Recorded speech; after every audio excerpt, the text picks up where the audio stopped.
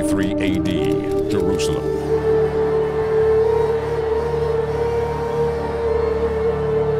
The fire fell on the church, and they turned the world upside down. 3,000 people saved in one day. Many are healed. 2,000 saved on another day. Signs and wonders of many kinds. Angelic visitations, dreams, visions, and resurrection from the dead. Vicious persecution breaks out, and yet the church remains on fire.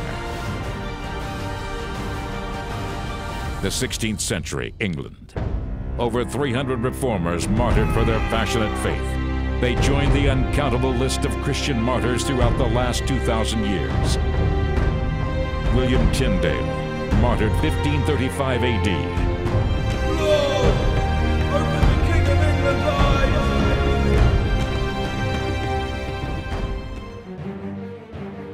The 20th century, God's generals. For whatsoever we bind here on earth will be bound in heaven.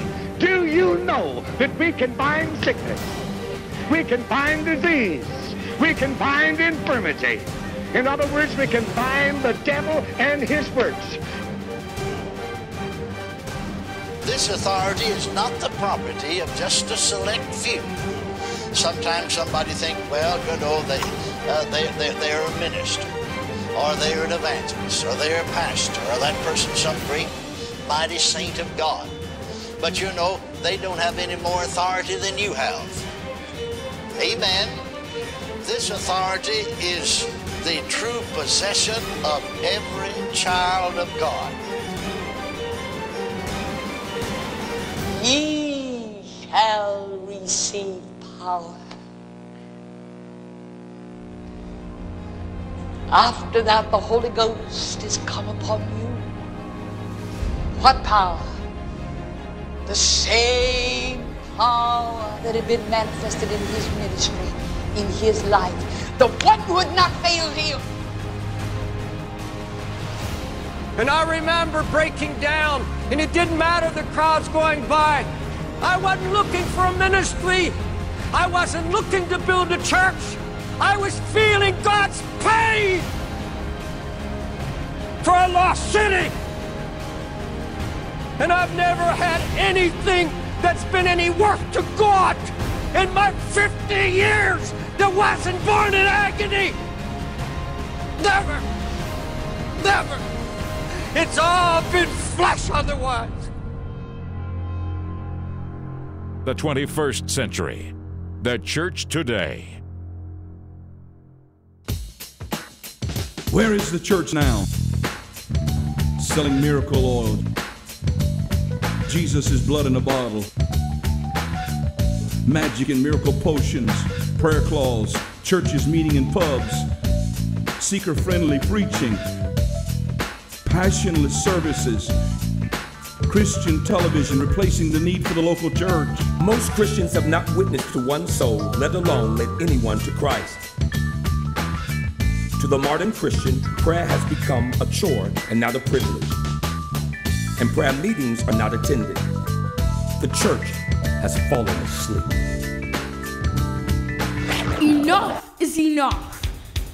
How can it change? Where do we go from here? Jesus, please help us. 15th March 1939. Germany declares war. One man, Adolf Hitler, would go on to lead a small minority to invade Europe and attempt to take over the world. What was his key? The unity of minority can overpower the majority. Italy joins forces by invading Albania. Japan then joins forces with Nazi Germany and Italy. Now, a small united minority have begun a full-scale world war. Prior to World War II, a small minority led Japan to butcher its way across Southeast Asia, killing 12 million people. A small minority led Russia to kill 20 million people. A small minority led China to kill 70 million people. If a small minority can unite and shake the world for evil, a small minority can do the same for good. God rejected the 31,000 and used Gideon's 300. One young man named David defeated Goliath, and the entire Philistine army became afraid. Twelve apostles turned the world upside down. The 16th century martyrs reformed the church. God's generals were baptized with fire and shook the world. Will you unite with the minority and shake your world in the 21st century? It is time to wake up the mighty men. I come here tonight and plead with you. Believe in yourself and believe that you're somebody. I said to the group last night, nobody else can do this for us. No document can do this for us.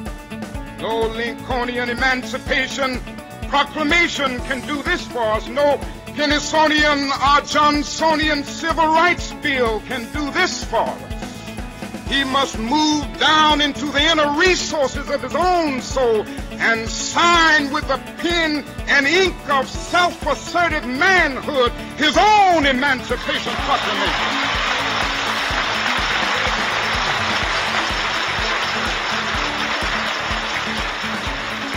It is time to wake up the mighty men. I said, it is time to wake up the mighty men.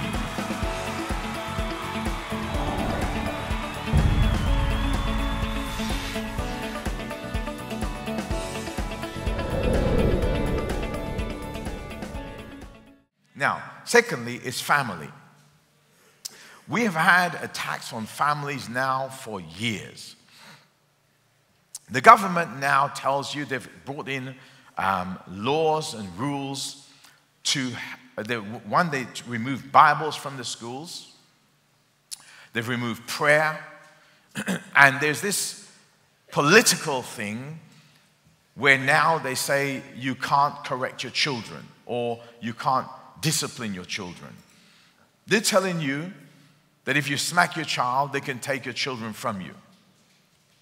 I remember when this started and Danny said, you know, they had, they kept putting on TV, call the child, child helpline if you're in trouble to the children. And we went to smack Danny, and Danny says, That's it, I'm calling the child, child helpline. We said to her, There's the phone, let them come and get you, and let them raise you. But as long as you're grown up in this house, how many know anything without discipline? How many just eat what you want? Some have, and you found out. Is that true? Because how many, I like chocolate. Do you? I like a lot of chocolate.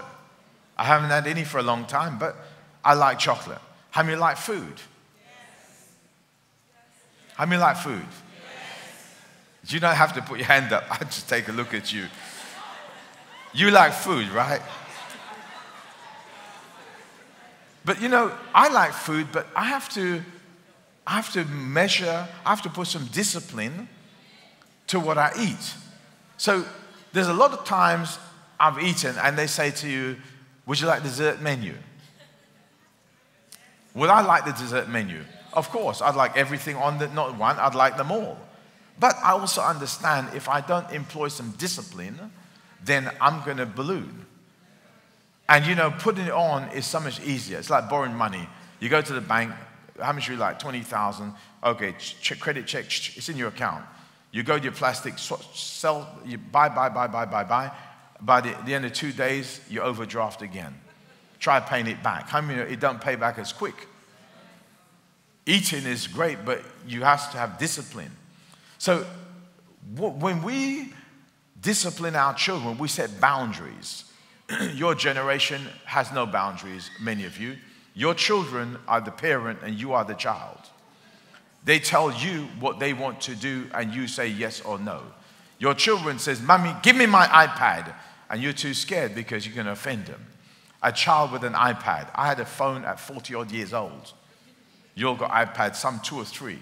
You got TV on your walls. In our house, there's one TV, everyone sits downstairs. You ain't going to go upstairs and watch nothing where we don't know what you're watching. You come down here. You don't co- you, in our household when the kids were teenagers. You don't come in and go out as much as you as you like. There's a time you come in, and Dominic tried it with me. There's a time he, he says, 11, Dom, 11 is the time you come in. Don't come past 11.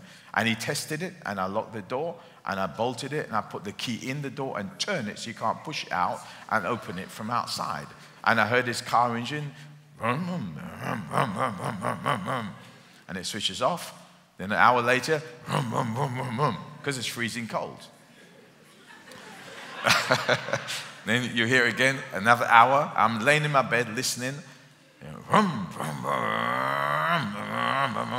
Rev the engine, and it warms up, and you switch it off again, and you hear all through the night the engine was going. And I said to them, Any one of you open the door, you'll join him outside. Why? There's boundaries. We are not going to stay in our bed worrying about you outside. You stay in your bed worrying why I won't let you out. We all sleep. You get it? So we're not playing those games. And listen to me, some of you parents are parenting children and you need parenting yourself. Because you don't know what it is. It amazes me. You, you don't know, you don't have any role model to raise a child. You have two or three children, and instead of asking someone, you know, how do I do this? You're like, you tell them, go to the naughty corner. There ain't nothing in the naughty corner. Johnny, sit down. Johnny, I will smack you Johnny, I, this, this is the last warning, you know, hundredth time. I'm, don't make daddy mad. Daddy will smack you now. Daddy will smack you. We were in Hawaii one year, and Robert Schuller, remember Robert Schuller? He's got the cathedral in, in, uh, in California. And we were on the, on the rest, we're in the restaurant, and Robert Schuller sat on the table next to us. I said to my family, Leave him alone. Leave the man. And after two days, he came and sat on our table. And he says, I don't know what it is about you all, but I watched you for the last two days. You all just interact all the time. What a great looking family. That's a Christian looking at our family and tells what a great family we have. How much more is the sinner looking at you? So, how do I get my family that way? Well, husband and wife, you all got to stop fighting screaming in front of your children. Every time you scream and fight in front of your children, you impact your children, you imprint the child.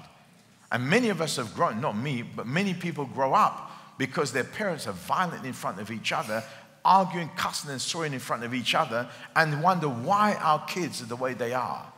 So we got to make a change in the home. That means, as a man, I'm going to start taking charge in my household. I'm going to start being the responsible one in my household. I'm not going to fight all day. How many it takes more effort to fight than it does to live in peace? How many, I'd rather go home to a peaceful home than a home full of strife. You walk in, I, have had people phone me, a young man, 14 years old, phone me, says, Pastor, could you come to my house, please? He says, My mum's got a knife and my dad's got a hammer and they're going to each other. Well, these are Christians. One with a knife, one with a hammer, attacking each other. Christians then what impression will the child have? So, as a church, we need, and a family, we need to be seen that Christ dwells in us. Even as a church family, what's the church known for? Talking about each other, putting each other down. Yet Jesus says, By this shall all men know you are my disciples, by love for each other. So, even within the church, jealousy is rife in churches. It's rife. Men jealous of other men, women jealous of other women, couples jealous of each other. In the church is a place where we should be able to celebrate each other. When someone like Zimba got married yesterday, we were all proud of him. He's such a, a nice young guy. He, uh, he came off the, the, step, and I think the music got too much to him, and he cut the leg down there, started dancing. But such an innocent guy, you know. His wife is, is just a nice couple, and we're really happy for them. Are you? The next thing is education. They said this if you want to hide anything from a black man, put it in a book. Have you ever heard that saying? Have you, have you ever heard that saying? Come on, you must have heard that. You're the playing smart with me now. I didn't say it. And just in case you don't know, my mother is very black. My brother, my favorite brother, is very black. He was. They're both dead now. My aunts are all black. I've got more black in me than most of you. That's the truth. I go to Jamaica, when we go to Dunn's River Fall, said, "My, stay over there, don't talk. Don't talk. Don't say anything, because it comes. How many tickets should we get? That kind of talk. You don't talk like that if you want the Jamaica, because they have a Jamaican rate and they have the tourist rate. They're called foreign, foreign. So they have the foreign rate and they have the local rate. So if you go, like I have to tell her, stay there, don't speak, Danny, go away, don't, don't any of you come there, and I go and talk to them, and I get the tickets at the Jamaican rate because I can speak the language. And I ain't giving no demonstration because you all ain't got enough money for that. so, but here's, here, here's the thing, right? We are supposed to be a people that love each other. We are really. We're supposed to be a people that love each other. But the problem for a lot of us is our culture is binding us. Jesus says your, your culture or your traditions have made the word of God null and void. And as long as you're operating by your old kingdom, you will never be effective in this kingdom. So education means when you when you are uh, what did you leave school, I left school at 15. What age did you leave? I was 15 in July, 23rd of July, I started my new job. Now, I had a suit made. It was good at the time. Every month I'd get a new suit made. I was earning 10 pounds a week, and I'd get a new suit made every month. Taylor, you, you ever heard of tonic? Mohair? Okay, so but some of my friends didn't do what I did, they went to college. Now, I didn't see the sense of college. When you want money, you want money now, right? So, everyone in this room is paid according to your value. You all, everyone individually in here, in the marketplace, has a value. So, I would go and work, get my 10 pound, go clubbing, wear my tonic suit, your Crombie, your, your Brogues, your Levi's stay press, your Ben Sherman shirt with the pleat down the back, feeling cool. Go in the club, hook up with some girls, whiny, whiny yourself up on them, and then go home, catch a bus. The years went by. The years went by. And then my friends started graduating from college. Because in the first few years, I was the man because they couldn't get a suit made because they're going to stupid college. They can't afford it because they got no money. So I'm the man. I'm getting all the girls because I'm the best dressed, you know. And, and then after a few years, my money didn't move much. And they left college and they began to wear the nice suits. And mine, I couldn't afford them anymore. And what the difference was, they raised their value. And every one of us has a value. Some of us is worth six pounds fifty an hour. Tesco, bleep, bleep, bleep. Why would they pay you more? So, education is a major part of changing your culture and your community. Education, the educated person, a lawyer, earns more than the shopkeeper. And if you don't raise your value, see, there are things like we don't want to get into certain areas because we're Christians. I've seen over the years where Christian pastors want to be businessmen and businessmen want to be pastors. It is, if you're in a business, why are you in business? Why are you in business? It's because God has called you to furnish the gospel. It's so that you can become a blessing to other people. That when someone has a need, you will say, I've got that one. When someone can't pay their bills, you say, I'll help them. And obviously, you don't help someone every time because they become weak. So, uh, all the people we've helped, we've given people in this church, one particular lady, we gave her three to five thousand pounds a month for two years. And it makes them weak. So, if you're looking for that, forget it. It will never happen again. Because the more you try and help people, instead of helping them, they don't look at what you've done, they look at what you could have done, and they end up becoming a weak people. But education, it's not too late to re educate yourself. It is never, in this country where education is so freely given, libraries everywhere, internet everywhere. All you got to do is go back, stop what you're doing, go back to where you where, to college, go back to uni, and re-educate yourself and raise your value. Because how many how many wants a nice house? How many would like a house? Where would you like to live? Hadley Wood. We all Hadley is like four million plus. So Hadley Wood that means you've got to be earning over a million pounds a year to get a four million pound mortgage. What job are you going to do is going to give you a million pound a year that you ain't going to sell your soul for. See, so you've got to think about this education and not just to earn money, education is power. I, I listened to a guy the other day on Facebook where the police was harassing him. Did you see it? The police came up to him, he's in the airport, and he was educated. He says, Why are you following me? And he quoted all the laws the policemen were breaking. And he says to the policeman, Your name is so and so. And the policeman on and He says, Under the law, you, you must give me your name and your number. Is your name so and so? He says, Yes, it is. He says, You arrested me the other day, and now you're harassing me.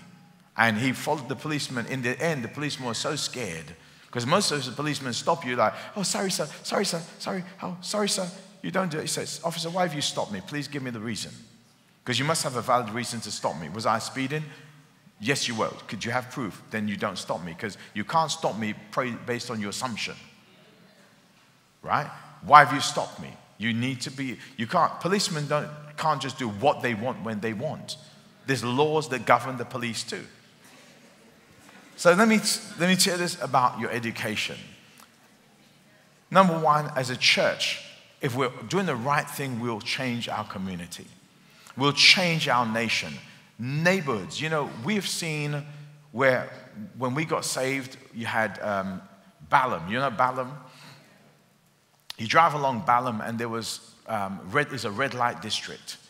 And my wife, at eight months pregnant, put on her coat and went down to Balham, and with the three or four other girls, maybe more, and they'd stand on a street corner with the prostitutes. And she's like, her stomach's out here, but she's standing with the prostitutes. She speak to them, and I see her on the floor with men hugging tramps and stuff like that. But they went there, and at first the prostitutes would come up and, you know, want to fight. And then the prostitutes realized these people are not actually trying to sell themselves. They're trying to help you. And I remember when, when the, the punters, what do you call them, punters? Any punters in here? No punters? when, the, when, the, when the punters will come up and they'll lean in the car to the punter and give him a track, say, Jesus loves you. How convicting is that? You're thinking of other things. Do you, do you know what I'm talking about? You, you got other things on your mind. It's nothing like Jesus to bring you back to reality. And, they got, and do you know what? After about a year and a half, the whole area cleared up. There was not a prostitute. Even the other day, I drove down there not to look for them, but just drove down there, and there was not one single prostitute in Balham. And we did the same thing in King's Cross. So we are supposed to. I think King's Cross is back in action again. But because the Christians are not doing what they're supposed to do, we are the policemen from heaven that we police the earth. And when things are being done, we don't leave people alone, we fight for their souls. Can you say amen?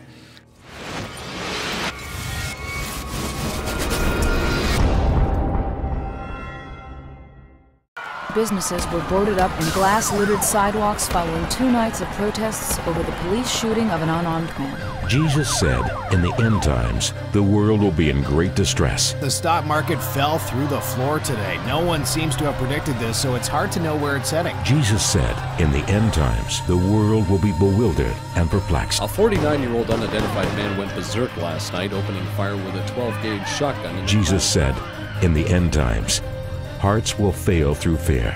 At Victory to Victory Church, we are not of the world. Therefore, we do not live in fear. We live by what God promises His people. So do not fear, for I am with you. Do not be dismayed, for I am your God. I will strengthen you and help you. I will uphold you with my righteous right hand. Come to V2V Church London and allow us to teach you who Jesus Christ is and what His Word really says. Call the number on screen or visit v2vchurch.org. V2V Church. You don't have to be afraid.